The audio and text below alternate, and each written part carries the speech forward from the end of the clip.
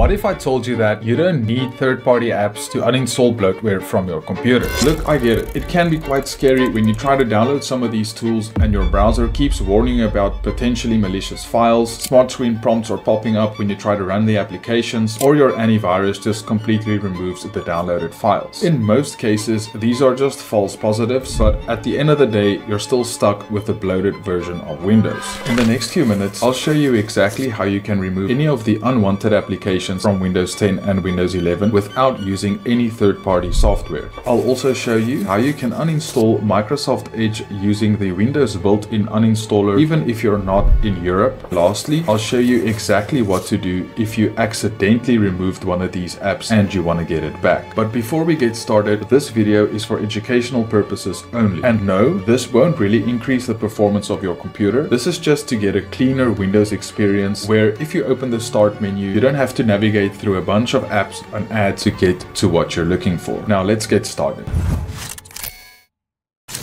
So first off, I'm going to be showing you the most basic and obvious way to remove some of the pre-installed apps in Windows 10 and Windows 11. And most of you probably already know how to do this, but I'm still going to cover it to be thorough because it's also going to lead us into the next section, which is the more advanced removals. Now I will be doing this tutorial on Windows 11, but you can do the exact same thing on Windows 10. And if there's any differences between Windows 11 and Windows 10, I'll be sure to mention them throughout the video. Now, first off, let's start with the obvious. If I right click the start button and then go to installed apps, it'll list all of the applications that are installed on the computer. Now, most of these apps you can't remove via the built-in Windows uninstaller. For example, camera, I can select that, click uninstall, and then it'll uninstall the camera app from the computer. Now there are exceptions to this and if you're not living in Europe then Microsoft Edge won't be uninstallable via the Windows built-in uninstaller by default but I will show you a way around that later on in the video. So the first step to removing the bloatware or whatever you regard as bloatware is to start at the top of this list and uninstall any application that you don't want in your Windows installation like the clock,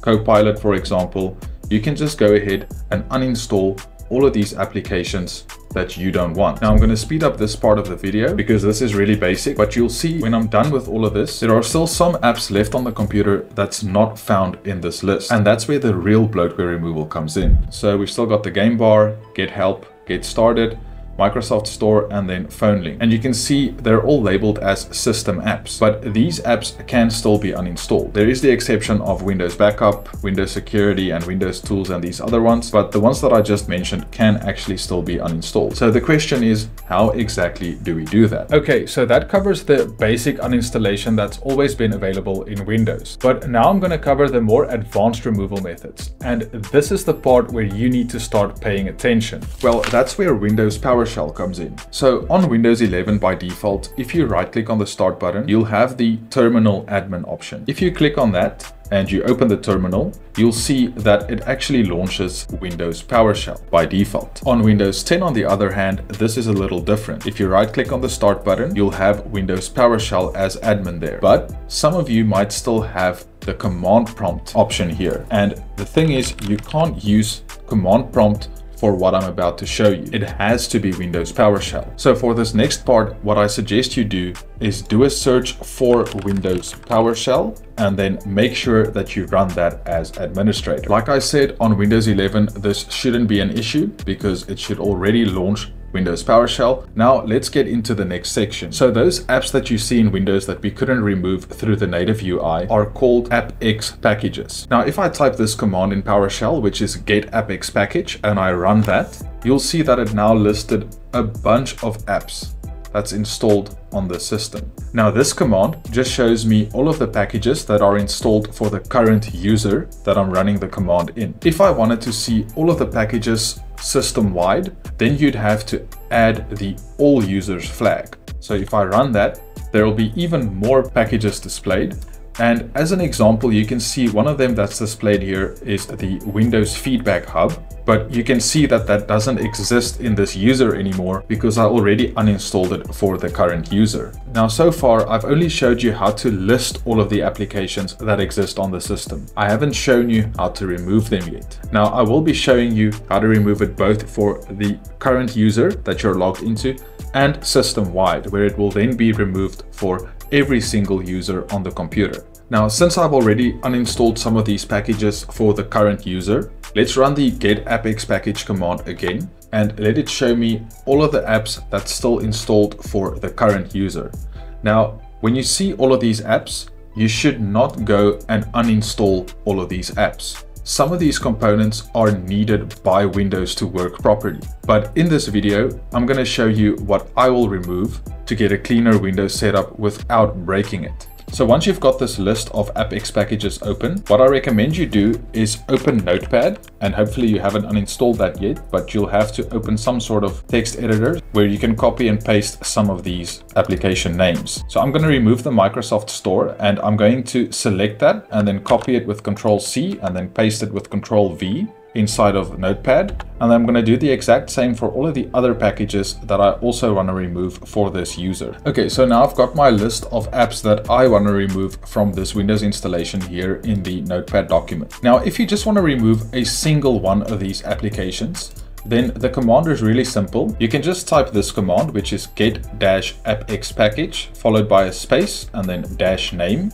And then you can copy the package name and paste it into PowerShell followed by a space, then a pipe symbol, and then you can type remove appx package. And if I run this command, it's going to remove the Microsoft Store for the current user.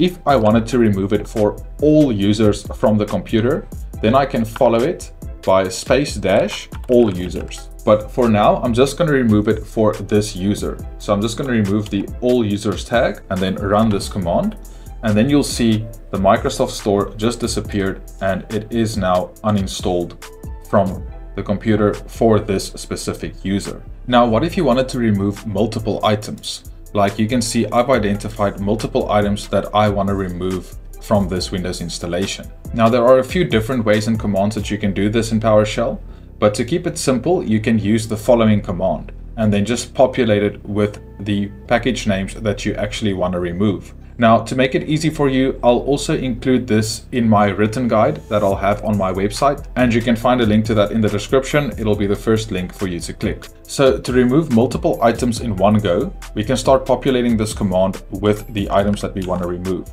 So I'm going to start with get help and then paste it there in between the quotes, and then I'll follow that by a comma, and then we'll have to add two more quotes and a comma, and then we can paste the next package. So I'm going to keep on doing that until I'm complete. But what's very important, after the very last package that you've defined, you must not add a comma. So I'm going to remove that comma. So I'm going to press enter to run the command and it's going to uninstall all of those applications. And we see that we have an error where it didn't want to uninstall one of the Xbox packages because it's part of Windows. And as you can see, it may not be possible to uninstall this app. And if it can't be, then just leave it. But if I open the start menu now and we have a look at the all apps section, you can see what we're left with. We did actually get rid of the game bar. Get Started is one of the system apps that unfortunately can't be removed. At the end of the day, this is what I'm left with in the start menu. I decided to keep the calculator and notepad, paint, the snipping tool and terminal as I don't personally regard those as bloatware, but we've still got Microsoft Edge, which we'll get to in a moment. What I just quickly want to show you next is how the all users tag works. So I've just quickly added a, another user account. Now you'll see that I've just loaded into this new user and it still has all of the apps installed on this user because remember I didn't remove it for all users I just removed it for the current user that I was signed into. So if I were to open one of these apps that I removed like Xbox for example it would still open and work on this computer, as you can see. But let's say that you wanted to remove it for all users. Now, I've just quickly taken the time to list out all of the packages that I've uninstalled in this video so far, even the ones that I uninstalled using the Windows built-in uninstaller. And you can get this complete list in my written guide on my website. But what this is going to do is it's going to get the AppX packages for all the users on the computer, and then it's going to remove those AppX packages for all the users as well. So if I select all of this and then copy it and paste it into PowerShell and then press enter to run the command, it's going to start removing all of these packages from Windows for all the users. Once it's finished, you'll just see that PowerShell has given you a new line to run a command on. Now, if I go back to the user that I just created before, and I now log into that user, you can see those packages have been uninstalled. Now LinkedIn isn't an AppX package, it's more of a ad that's in the start menu. So you just need to right click on it and click on uninstall and then it'll be gone. But if we go through the all apps list here, you can see that those packages have been removed. One thing that's still present here is OneDrive because in Windows 11, that's not an AppX package anymore. It's a piece of software that's installed. So for OneDrive, you will need to just right click on it and then uninstall it for every single user. Okay, so now that we're done with the AppX package removal, I'll show you exactly what you need to do to uninstall Microsoft Edge using the built-in Windows uninstaller. But before you do that, just make sure that you do have another browser installed. I just quickly installed Google Chrome, so I do have a way of getting back on the internet once Microsoft Edge is removed. Now, if you're in the EU, then you're already probably able to uninstall Microsoft Edge and you can just click on it and uninstall it. But for the rest of us, if we want to uninstall Microsoft Edge safely, then we have to enable the Digital Markets Act or EU mode. And and to do that involves editing the registry. Now, these keys are quite complex, so I'm not going to open regedit and create the keys because it's got some weird values and it involves hexadecimal formats and all of that. So what I've done is just put them in simple regadd commands. And once again, I'll leave this in my written guide as well. But you can copy these commands one by one. And then you can use either the terminal, which will be PowerShell, or you can use command prompt as admin for this.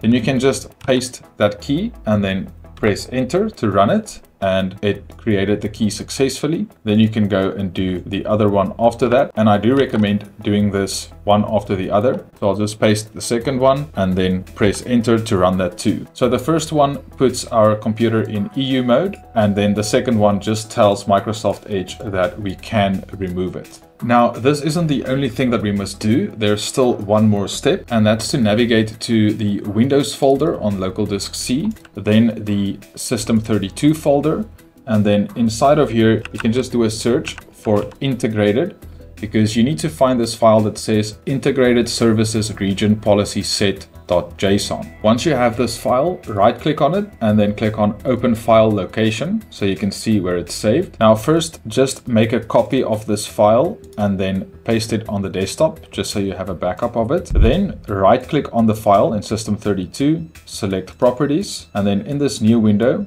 you need to go over to security. In the new window click on advanced then you need to change the owner from trusted installer. You need to click on change and then enter your username. And you have to be an administrator as well.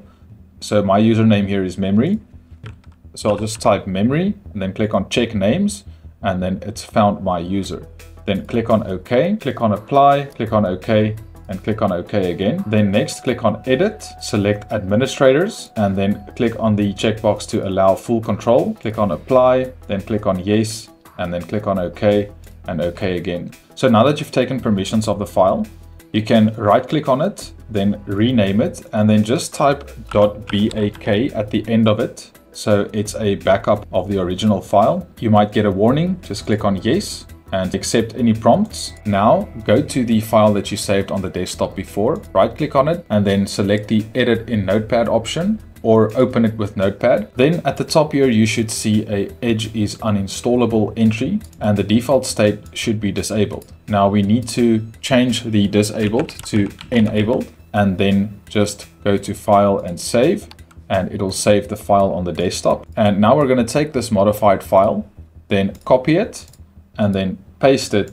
back into the system32 folder so that is our new file. Now, if we reopen the installed apps and we go to Microsoft Edge, we'll have the option to uninstall it. And if I click on that, I'll go through the process of uninstalling it. And now I just launched the uninstaller. I'll just click on uninstall and then wait for Microsoft Edge to be safely uninstalled from the system. So this is not a force removal. This is just telling Windows that we are allowed to uninstall Microsoft Edge from the system. And it should stay uninstalled unless Microsoft maybe pushes it via an update again. But then you should be able to use the same process of uninstalling it. Now, if you want to do some cleanup, you can delete the file on the desktop because you don't need that anymore. And then I also have the command to clean up those registry entries we created to remove Microsoft Edge. But this is optional. You don't have to do this. You can leave those registry keys that you created earlier exactly as is. There won't be any consequences to that. But if you wanted to clean it up, you can just copy both of these registry keys from the written guide, paste it, and then run it. Okay, so now you've removed all of the bloatware that you want to remove, but what if you accidentally made a mistake and you uninstalled something that you didn't want to uninstall? Let me show you exactly what to do to reinstall some of these apps that you might have uninstalled by accident. Most of the applications can be reinstalled via the Microsoft Store. Not all of them, but most of them. So for example, let's say that I accidentally uninstalled the calculator app and I want to get that back. You can download it via the browser from the Microsoft Store page. As you can see, here's the Windows calculator and I can download it it'll download a normal installer. Once you run that, it's gonna say that it's actually using the store to start the download, but the Microsoft Store isn't installed anymore. This is just the way Windows installs these apps. So as you can see, I've got the calculator back and I can use it again. So you should be able to do that for most of the important apps. But one of the exceptions to this rule is the Microsoft Store itself. And there are several ways that you can reinstall it. I've made various videos about that on this channel and I'll link those in the description below. But one of the easiest methods is to just once again open the terminal or PowerShell as admin. And then you can just type this simple command, which is ws reset space dash i.